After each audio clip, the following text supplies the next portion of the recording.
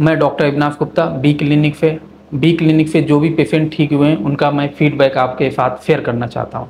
Hello जी मनोज कुमार जी से बात हो रही है? हाँ हाँ जी जी मैं डॉक्टर अविनाश गुप्ता बात कर रहा हूँ मनोज जी। आपकी नमस्कार, जो नमस्कार, नमस्कार नमस्कार आपकी जो दवा चल रही थी टाइमिंग और स्पर्म काउंट मिल की है ना? तो हाँ। उसमें अभी आपको आराम लग रहा है हाँ? सर ठीक है थोड़ा मतलब पहले से पचास परसेंट अच्छा लग रहा है।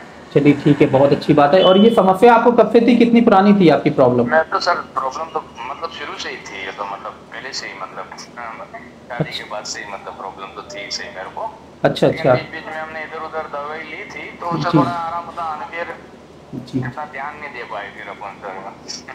अच्छा अच्छा चलिए कोई बात नहीं। और दवा लेने में कोई दिक्कत तो नहीं होती थी आपको? नहीं नहीं नहीं हो रही सर अभी।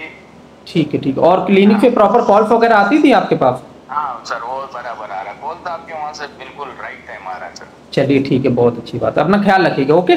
ठीक है? Okay sir okay. अगर आपको भी sperm count nil sperm count low ED premature ejaculation से रिलेटेड कोई भी समस्या है तो आप नीचे दिए नंबर पर देखकर कॉल कर सकते हैं। नमस्कार।